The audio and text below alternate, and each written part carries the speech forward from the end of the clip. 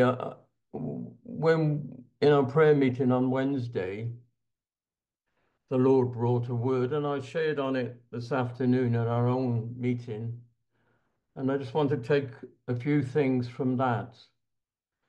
Uh, the verse in particular, the Lord laid on my heart, we'll find in 2 Corinthians. Just bear with me, the light in here isn't very good, so I just hope I'll be able to read what I've put here. So in 2 Corinthians chapter 8 and verse 9, it's a verse that I'm sure we're all familiar with. But the Lord brought it to me today, or Wednesday rather, and again today as we've shared upon it, and thread threw some light on it in my own heart that I wanted to share. So from the authorized King James Version, we would read, For you know the grace of our Lord Jesus Christ. That, that in itself is an amazing statement. You know. And I wonder in my own heart, do I know the grace of our Lord Jesus Christ? Or is it just a phrase on the pages of the Bible. But he, he says that though he was rich, yet for our sakes he became poor, that ye through his poverty might be made rich. I was dwelling on, on these and I've looked up a few of the, the Greek words, not that I want to uh, burden you with those. But the word there, poor, could be translated pauper. And you know what a pauper is. Someone is reduced to beggary. And there's a, a word I've not really come across before, which is indignance. Indignance. It's not a word I'm familiar with. And I spoke to someone else today, they said they're not really familiar with it. But looking in the English dictionary, this is what I found. A level of poverty in which real hardship and deprivation are suffered and comforts of life are wholly lacking. And that put a new light on what it meant when Jesus said, um, or Paul said rather, that through his he became poor that we through his poverty might become rich. Let me just read a couple of things to you. Being in France, um, I think it might be appropriate to quote from a lady called Madame Guyon.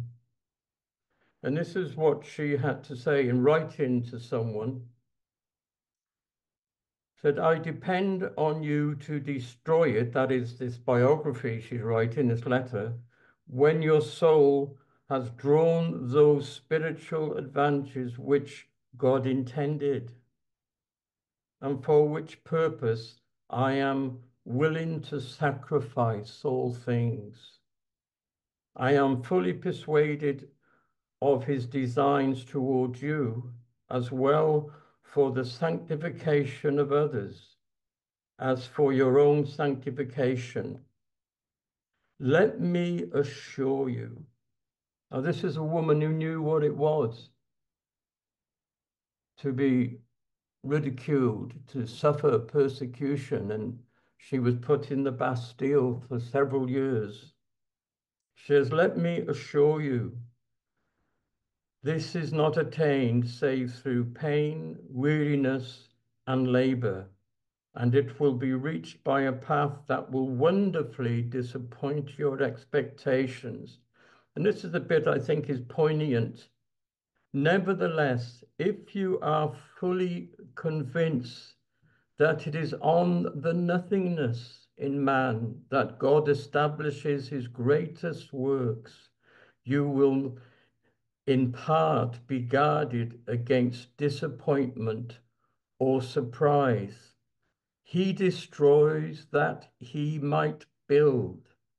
For when he is about to rear his sacred temple in us, he first totally razes that vain and pompous edifice which human art and power had erected, and from the horrible ruins, a new structure is formed by his power alone. You know, there was nothing in Christ that he could boast about. He, it was, he was poor. He was, had nowhere, as Wesley says, to lay his head. We find that in, in uh, Matthew 8. We just turn to that briefly, if you've got your Bible with you, in Matthew 8, in verse 26. Just bear with me while I find it on here.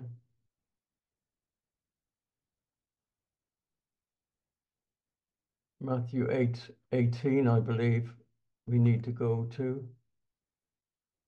It says in verse 18 of Matthew 8 Now, when Jesus saw great multitudes about him, he gave commandment to depart unto the other side.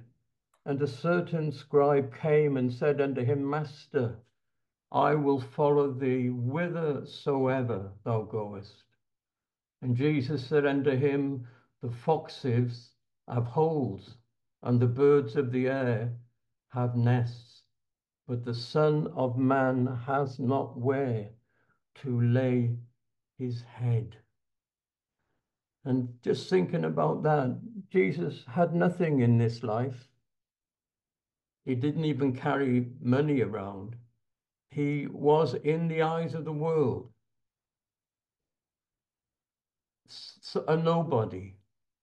And he was born into a situation where his parents would have been regarded as nobodies.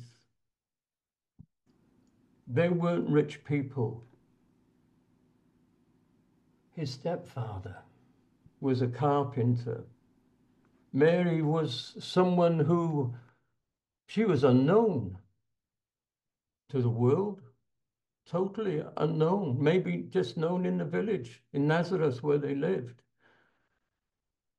but she wouldn't have re been regarded as someone that has anything of any importance in the world's eyes. And just like Madame Guyon was saying, if, you, if you're persuaded it's eh, on the nothing in a man, that God builds his greatest works, his finest works. And you know, and as I've been contemplating on this, that is out, out of his poverty, out of his nothingness, out of having nothing. And you can say, well, he's the Son of God. He did all these miracles. He was a wonderful person. He raised the dead, he healed the sick. But Jesus in himself was nothing. He said, without his Father, he could do nothing. And out of that poverty, that we are made rich. It's not out of something else, out of his poverty. What a wonderful thing. And I don't want to go into the, the fact of, of richness and all that we have in Christ because we have so much. But it, Christ, you know, he, we, we read, don't we, in Philippians that being in the form of God, he didn't consider it to be anything, but he emptied himself. And we see as we read in Philippians, he goes down and down and down, humbled himself, became obedient unto death, even death on a cross. And as I've been thinking of these things today, and it's absolutely amazing that I want to look at that word which I had struggled, struggled to pronounce because it's new to me. Um, I'll try and pronounce it correctly. I think indigence, a level of poverty in which real hardship and deprivation are suffered and comforts of life are wholly lacking. Jesus had none of the things that we take for granted. He was born into a situation, into a life, he, as you know, he was laid in a manger, in a stable or a cave, whatever it was, it, it's irrelevant. But what it was, he came with nothing. He came as nothing. And, and beloved, my, you know, that's, that's the Jesus that saved us out of his poverty.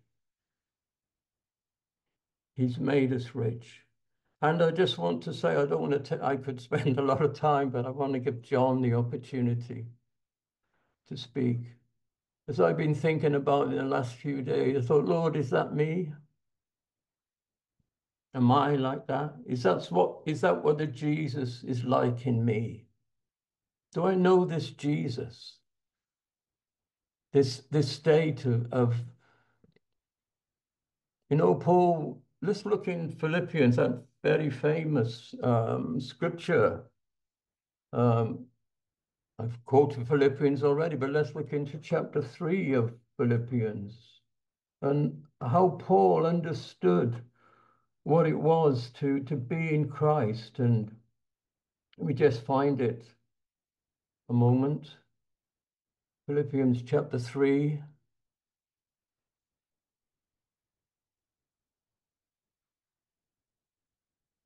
He, he, he said that I have doubtless, I count all things loss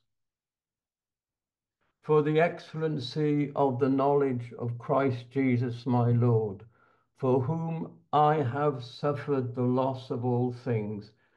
And as we read in the authorized version, and do count them but dung. For what reason?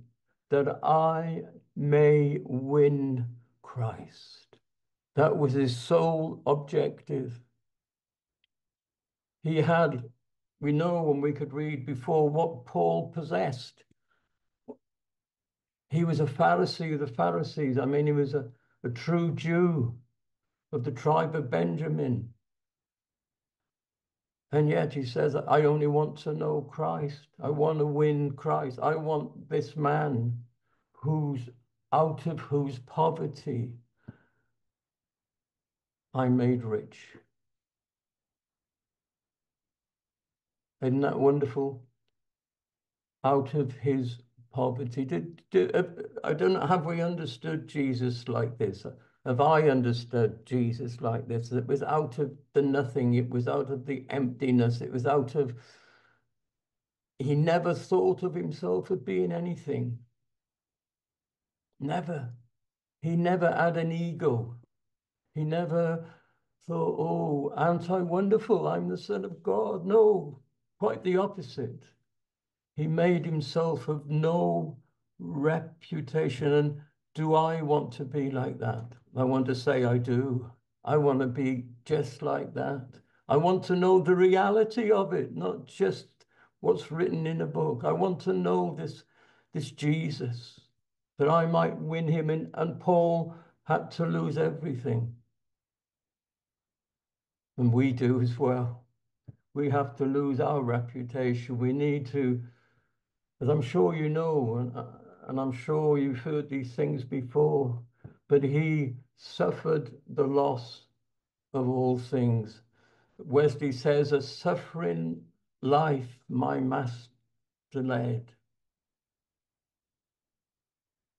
And I'm not saying we should, you know, look to, for suffering. I don't believe we should do that. But it will cost us everything that I might win him, or as he says further down, that I might know him and the power of his resurrection, being conformed unto his death. So I just want to leave that really. It's very short, it's just a few minutes, but it's out of his poverty that you and I are made rich. Amen. Thank you for the cross, Lord. Thank you for the price you pay, bearing all my sin and shame. In love you came and gave amazing grace. Thank you for this love, Lord. Thank you for the nail pierced hand. Wash me in your cleansing flow. Now all I know, your forgiveness and embrace.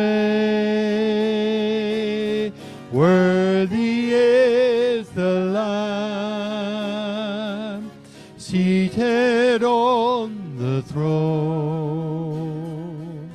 Crown you now with many crowns. You reign victorious, high and lifted up. Jesus, Son of God, the treasure of heaven crucified. Worthy is the Lamb, worthy is the Lamb.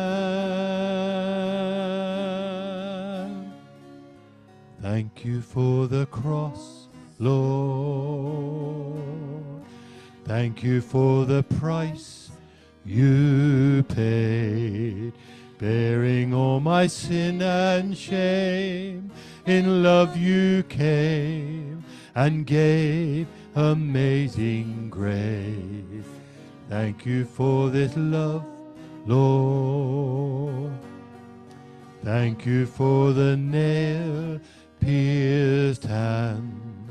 Wash me in your cleansing flow. Now all I know, your forgiveness and embrace. Worthy is the Lamb seated on the throne. Crown you now with many crowns. You reign victorious, high and lifted up. Jesus, Son of God, the treasure of heaven crucified. Worthy is the Lamb. Worthy is the Lamb. Worthy is the Lamb.